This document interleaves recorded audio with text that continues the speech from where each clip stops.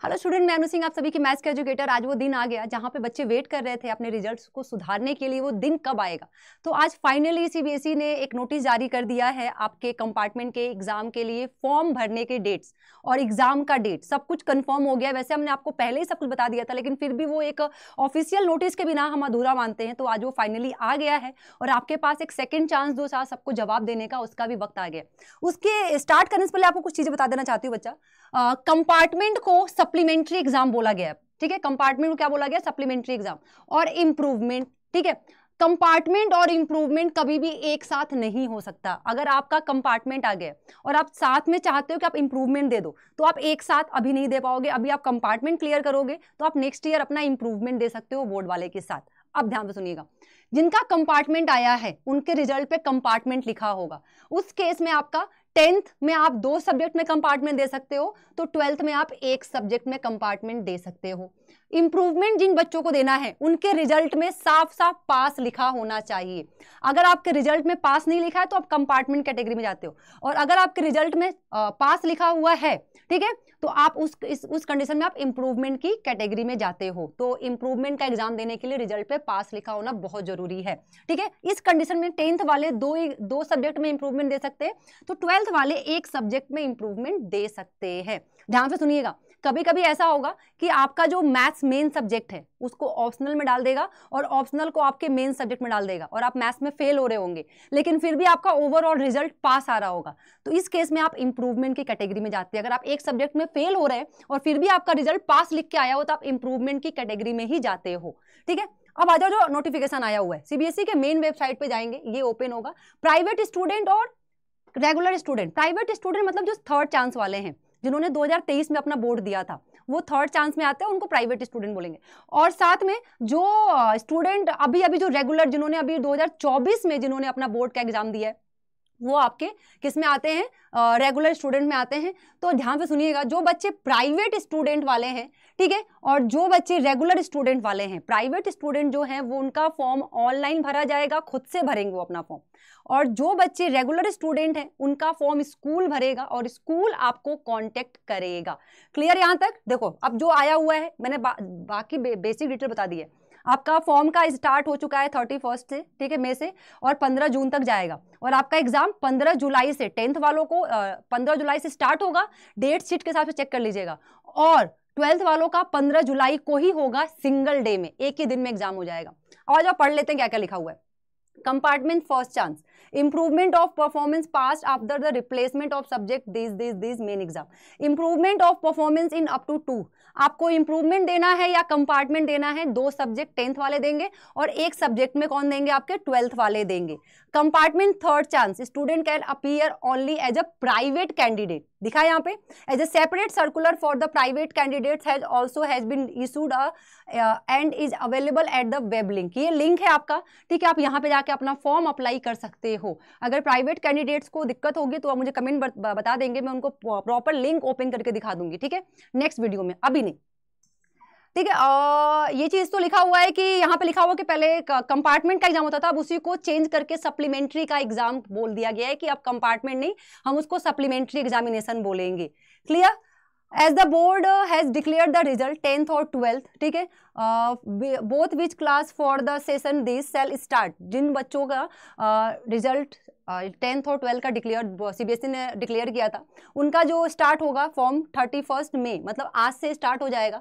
The submission of LOC is the done through the Pariksha Sangam link provided on the CBSE website कौन सा link Pariksha Sangam link provided on the CBSE के website पे ही आपको मिलेगा। इस link पे जाके आपको अपना फॉर्म भरना है थर्ड चांस वाले। फ़र्स्ट चांस वालों का भी ऑनलाइन ही फॉर्म भरा जाएगा, लेकिन वो स्कूल भरेगा, वो स्कूल की रिस्पॉन्सिबिलिटी है। Clear? Only those student whose name is submitted through the online जिनका फॉर्म ऑनलाइन भरा जाएगा, सिर्फ़ वही सप्लीमेंट्री के एग्ज़ाम में बैठेंगे। अदरवाइज़ कोई नहीं बैठेगा। ठीक है appear for the supplementary exam वही लिखा हुआ है। The school will have to use their affiliation number as a user I D use school क्या करेगा? आपका अप्लीकेशन नंबर यूज़ करेगा आपकी यूज़र आई डी के नाम पे, और पासवर्ड ऑलरेडी अवेलेबल उनके पास ऑलरेडी पासवर्ड है तो वो आपका फॉर्म ऐसे भरने वाले हैं इस वेबसाइट पे जाके। ठीक है? द फॉलोइंग इंपॉर्टेंट इंफॉर्मेशन में be read under the under the carefully यहाँ पे लिखा हुआ है कुछ information student who have appeared for the board examination for the session 2023-24 as a regular student from CBSE affiliated school and whose result has been declared as a compartment should approaches the school अपने school को जाके approach कीजिए ताकि वो आपका compartment का form भर सके। सिमिलरली स्कूल आपको सेल ऑल्सो कॉन्टेक्ट आपको कॉन्टेक्ट करेगा अपने स्टूडेंट को जिनका कंपार्टमेंट आ गया है and inform that supplementary examination जिन बच, जो बच्चे कंपार्टमेंट की कैटेगरी में आ गए हैं उस स्कूल उनको कांटेक्ट करेगा और उनको सप्लीमेंट्री एग्जामिनेशन के बारे में सब कुछ बताएगा। Also the school shall inform their candidate जिन बच्चों जो बच्चे पास हो गए हैं और फिर भी उनको इम्प्रूवमेंट देना है स्कूल उनको भी कॉन्टेक्ट करेगा और सारी इंफॉर्मेशन बताएगा फॉर्म भरने के लिए सारी चीज़ें बताएगा। क्लियर हुआ यहाँ तक? uh, ठीक है यहीं पे चीज़ें लिखा हुआ है क्या कि दो सब्जेक्ट में टेंथ वाले और एक सब्जेक्ट में इलेवेंथ वाले दे सॉरी ट्वेल्थ वाले दे सकते हैं। School should submit LOC for all the student placed in the compartment category school जो है वही आपका एलओसी भरेगा ठीक है? जो बच्चे कंपार्टमेंट की कैटेगरी में आते हैं even if they are unable to contact the student ठीक है? अगर वो अनेबल uh, हो जाते हैं अगर अगर स्कूल वाले आपको कॉन्टेक्ट नहीं कर पाते हैं किसी रीजन से तो वो एल, आपके नाम पे एलओसी भरेंगे। एलओसी वही देंगे आपके नाम पे ठीक है? Non submission of the name of the student जिन बच्चों, जो बच्चे का फॉर्म नहीं भरा जा चुका है किसी रीजन की वजह से will keys the opportunity to appear in the उनके पास एक चांस होगा, ठीक है, कि वो सप्लीमेंट्री का एग्ज़ाम दे पाएँगे, क्योंकि ये स्कूल का फॉल्ट होगा अभी, ठीक है। It will be the responsibility of the school to submit L O C within the stipulated schedule मतलब टाइम में रहते हुए आपका एल ओ सी का form L O C submit कर दिया जाए, ठीक है, ये स्कूल की रिस्पॉन्सिबिलिटी है। No request for extension date किसी भी रीजन की वजह से अगर आपका फॉर्म छूटता है तो आपका नो uh, एक्सटेंशन no मतलब डेट को बढ़ाने का एक रिक्वेस्ट uh, एक्सेप्ट नहीं किया जाएगा. Accepting any candidature after the last date is over will the considered the shall submit the name of the the L O C for the supplementary examination two thousand twenty four as the condition of the eligibility ठीक है?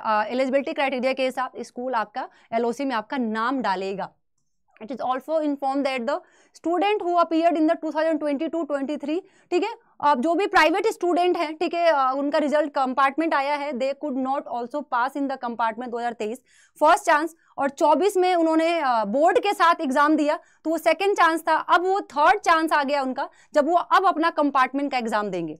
Maximum of three chances आपको तीन chance मिलता है first chance second chance third chance ठीक है? First chance अगर आपने 2023 में बोर्ड दिया फेल हो गए कंपार्टमेंट दिया पास नहीं हुए। फिर आपने बोर्ड के साथ दो हज़ार चौबीस में पेपर दिया कंपार्टमेंट में पास नहीं हुए। फिर अब आप थर्ड चांस में पेपर दे रहे हैं, ठीक है?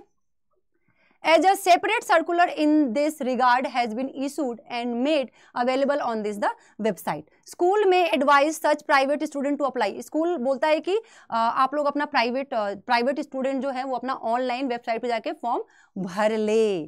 ठीक है? अगर आपको कोई भी डिफिकल्टी होती है तो query regarding the online submission the IT branch of the concern regional office can be contacted for the clarification और assistant the contact detail of the regional office link is here. आप इस link पे जाके अपना query uh, दे सकते हैं कि क्या प्रॉब्लम आ रही है आपको ठीक है?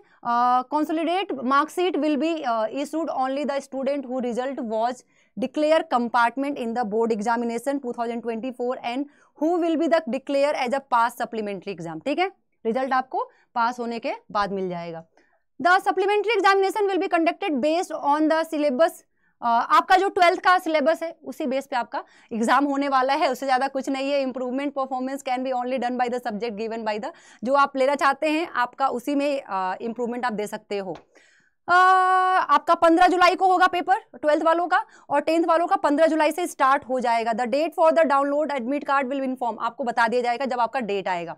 Eligibility criteria this schedule for schedule for the supplementary exam दो fee structure of the this detail approach copy web देखो, अब आ जाओ, यहाँ पे सारी चीज़ें लिखी हुई है। क्या क्या कैसे कैसे कितना फ़ीस आपका लगने वाला है, ये आपको पहले बता दिया गया है एलिजिबिलिटी क्लास टेंथ मैंने आपको ये बता दिया है। ठीक है? Fifth July. चलो, आ जाओ भाई, हो गया। ठीक है? चलो, अब आपको बता दिया जाए कि जो फॉर्म है, तीन सौ रुपये पर सब्जेक्ट ठीक है? हज़ार रुपए नेपाल वाले स्टूडेंट्स के लिए और जो बच्चे आउटसाइड ऑफ़ द इंडिया हैं, उनका दो हज़ार रुपये फ़ीस है, ठीक है? इकतीस तारीख से स्टार्ट हो रहा है और क्या जा रहा है? Date finalization of LOC plus two days seventeen six तक जा रहा है मतलब पंद्रह तारीख प्लस दो दो दिन जा रहा है आपका Monday please see the instruction ठीक है? सेवनटीन तक जा रहा है क्या आपका फ़ीस पेमेंट करने का? लास्ट डेट दो दो तारीख और मिल रहा है। विद द लेट फ़ीस अगर आप लेट होते हैं तो आपको दो हज़ार रुपए पे करना पड़ेगा। तो सोचो, तीन सौ देना चाहते हो या फिर दो हज़ार देना चाहते हो। अब आपके ऊपर है। कंप्लीट डिटेल है। Date of the finalization this and this मतलब लेट डेट जो है आपका, सोलह तारीख है। खत्म हुआ, पंद्रह तारीख तक आपका लास्ट डेट खत्म हुआ। पंद्रह तारीख के बाद से, सोलह के बाद से स्टार्ट होगा। सोलह, सत्रह, अठारह, उन्नीस तक जाएगा आपका एग्ज़ाम का सॉरी पेमेंट करने का डेट ठीक है, आप पहले फॉर्म फिल कर लीजिए। पंद्रह तारीख ही आपका लास्ट डेट है फॉर्म फिल करने का। अगर आप लेट होते हैं तो फिर आपको दो हज़ार रुपये पेमेंट करना पड़ेगा। आप कमर की पेटी बाँध लीजिए, सारी डेट को नोट कर लीजिए और एग्ज़ाम की तैयारी कर लीजिए, पैंतालीस दिन अभी भी आपके पास है। All the best